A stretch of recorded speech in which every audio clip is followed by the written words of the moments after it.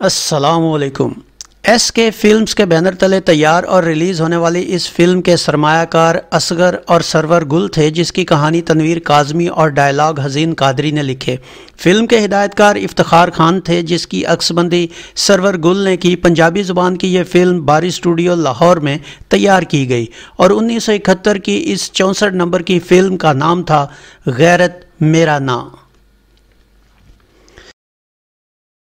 इस फ़िल्म के अदाकारों में सुधीर, फिरदौस, यूसुफ खान, रुखसाना, सुल्तान राही, नबीला, रंगीला, रज़िया, खलीफा नज़ीर, हामिद रंगून वाला चौहान, ताया बरकत और मेहमान अदाकारों में इलियास कश्मीरी शामिल थे। इस फ़िल्म की कहानी क्या थी? आइए देखते हैं।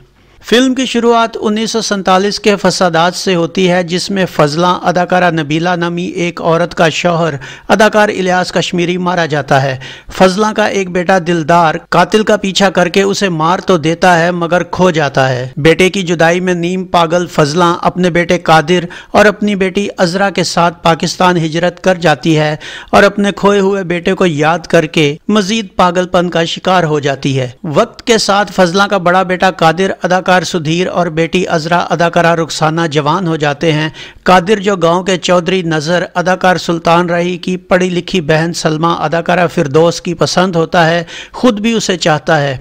दूसरी तरफ़ फजला का छोटा बेटा दिलदार बुरे लोगों की सोबत में बैठकर अब दारा डाकू अदाकार यूसुफ खान बन चुका होता है, जो अमीरों से भत्ता वसूल करता है और गरीबों में बांटता है। कादिर के गाँव के चौधरी नज़र को नादिर की धमकी मिलने पर उस रात कादिर खुद पहरा देता है और उसका सामना दारे से हो जाता है। मगर कुछ बुरा होने से पहले पागल फजला वहाँ आकर दोनों में बीच बचाव करा देती है। कादर अब अजरा की शादी तय कर देता है, लेकिन सरमाया न होने की वजह से परेशान हो जाता है। सलमा अपने भाई नज़र को कहकर उसकी मदद करने की कोशिश करती है, मगर नज़र घटियापन का मुजाहरा करते हुए उसे अजरा को एक रात के लिए अपनी हवेली भेजने को कहता है, जिस पर कादिर तैश में आकर उसे खूब पीटता है। अब कादिर अपने बैलों को मजबूरन बेचने का फैसला करता है। इस बात का इल्म होने पर नज़र मवेशी मंडी से वापसी पर। कादिर पर अपने गुंडों से हमला करवा के उसे अधमरा करके दरिया में मरा हुआ समझकर फेंक देता है और उसकी रकम छीन लेता है। फजला पर क्यामत टूट पड़ती है। नज़र हमदर्दी की आड़ में फजला के पास अजरा का हाथ मांगने आता है, मगर अब अजरा खुद उस पर बंदूक तान कर उसे भागने पर मजबूर कर देती है।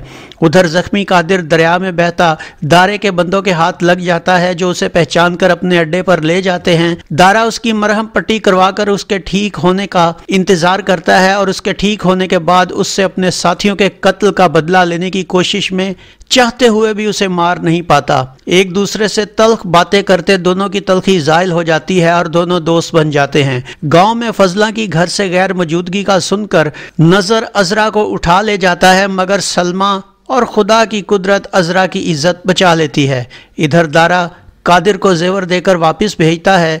फजला और अजरा कादिर को ज़िंदा देखकर खुदा का शुक्र अदा करती हैं और सलमा की खुशियाँ भी लौट आती हैं। लेकिन जब नज़र को इस बात का पता चलता है तो वो एन शादी के वक्त पुलिस को लेकर कादिर के घर पहुँच जाता है और कादिर को दारे के जुराइम में उसका साथी होने के जुर्म में गिरफ़्तार कर लिया जाता है। दारे को जब इस बात का इल्म होता है तो वो बहुत पशेमान होता है और कादर की माँ से माफ़ी मांग कर खुद को कानून के हवाले करने का फैसला करता है। नज़र अब फजला और अजरा को अकेला पाकर दोबारा अजरा को उठाने आ जाता है, मगर एन उसी वक्त दारा पहुँच जाता है और नज़र के साथियों की शदीद पिटाई करके नज़र से भिड़ जाता है। काफ़ी देर खूनी मुकाबले के बाद दारा आखिरकार नज़र को मार देता है, लेकिन खुद भी शदीद जख्मी हो जाता है। फजला की मामता दारे में छुपे अपने दिलदार को पहचान लेती है। फजला के लाख मना करने के बावजूद दारा भाई को बचाने के लिए अपनी गिरफ्तारी देने जाने लगता है कि फजला बेटे के मिलकर दोबारा बिछड़ने के गम में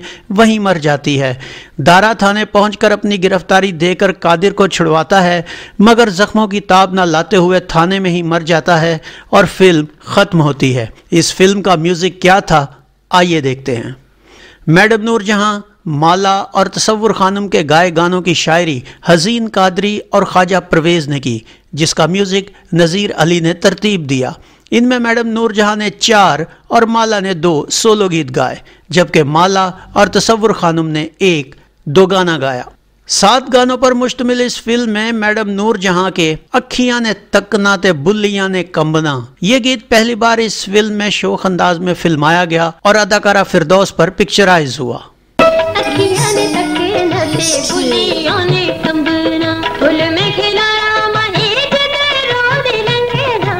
अखियाँ ने तकना ते बुल्लियाँ ने कंबना। दूसरी बार ये गीत इस फ़िल्म में गमगीन अंदाज में पिक्चराइज हुआ और अदाकारा फिरदौस पर अक्सबंद किया गया।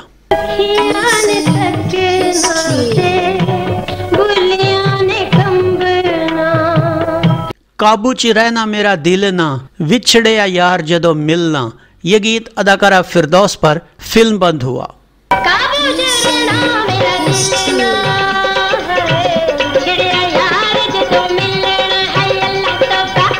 तकदीर गवाया लालनी नाजरीन ये गीत मुख्तलिफ़ मकाम पर इस फ़िल्म में प्ले बैक किया गया और अदाकारा नबीला पर ही शूट हुआ।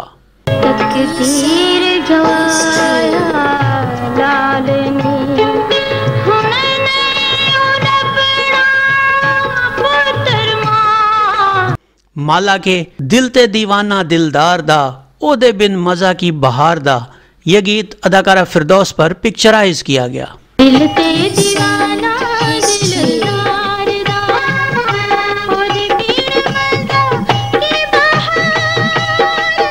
एस डोली दे सन दो कहार निमाए ये गीत अदाकारा फिरदौस पर अक्स बंद हुआ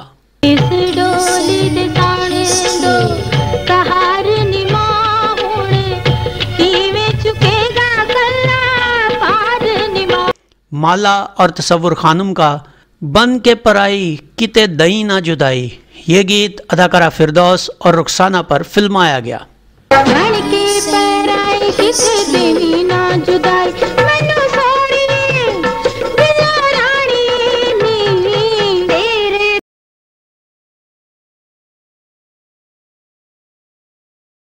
ये फ़िल्म 17 सितंबर 1971 बरोज़ जुमा पाकिस्तान भर में रिलीज़ हुई। कराची में इसे प्लाजा, ख़याम, शालीमार, गुलजार, फिरदौस, सादकाबाद के पंजाब, फैसलाबाद के निशात लाहौर के रतन और रावलपिंडी के निशात में पेश किया गया। अपने अपने शहरों के सदमाओं की मालूम देने पर हम जनाब अनवारुल हसन, जवार कामरेड, कदीर राना और तुफैल शाह साहिब के मशहूर हैं। नादरीन इस फ़िल्म का प्लॉट बहुत अच्छा था।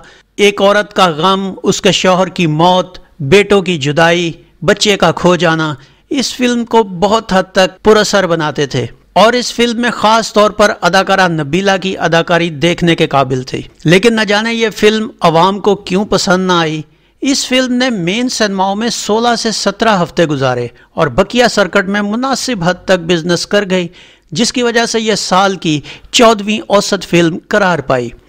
तो ये था फ़िल्म गैरत मेरा ना का एक मुकम्मल रिव्यू। उम्मीद है आपको हमारा ये वीडियो पसंद आया होगा। वीडियो पसंद आया हो तो इसे लाइक कीजिए, कमेंट्स बॉक्स में अपनी राय का इजहार कीजिए और इस वीडियो को शेयर कीजिए। इसके साथ गुलफाम को इजाज़त दीजिए।